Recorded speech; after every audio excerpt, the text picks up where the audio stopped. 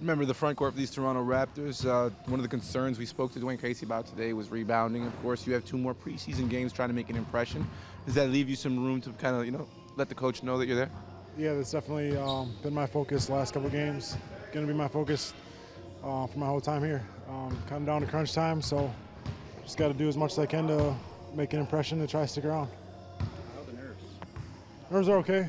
Um, it's a roller coaster. I mean, it can be up and down day to day, but just got to try and stay consistent, um, control things you can control, worry about those things, and uh, then just let the chips fall where they may. How's the head feeling after the? That's feeling good. Um, been practicing last, you know, how, how long? Taking a few more shots. Got poked in the eye the other night. Um, so I guess when it rains, it pours. But feeling good. Feeling, feeling, feeling better.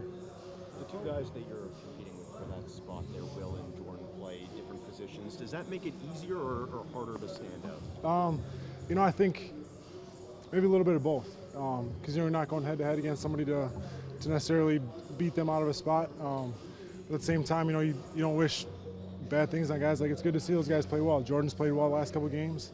Um, Will's been playing well. So it's, um, like I said, you worry about what you can control. And that's how, how hard how hard I play, and uh, the things I do on the floor. What kind of feedback have you been getting from your teammates? Of course, see Patrick's pretty much a fan of you right now. Yeah, I mean everybody's been great. This um, everybody always says they got a tight locker room, but this is really um, a genuine group of guys. Um, everybody's in it together, so it's it's been a fun group to be around. Front office and coaching staff wise, what have those guys told you or even asked of you? Um, you know, we haven't really talked anything outside of just um, practice, practice, game stuff. Um, you know, we haven't talked about anything outside of that.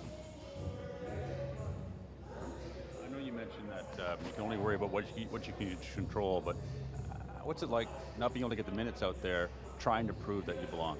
Um, I mean, it's it's all about opportunities. This this whole league, my, my whole career has been about opportunities, and I just got to look at it like whatever amount of minutes I have is another opportunity to, to succeed, to play well, and to show what I can do. And that extends um, beyond just the games and, pr- and practice. Every every opportunity we have, every possession we have, um, just trying to show what I can bring um, on and off the floor during games.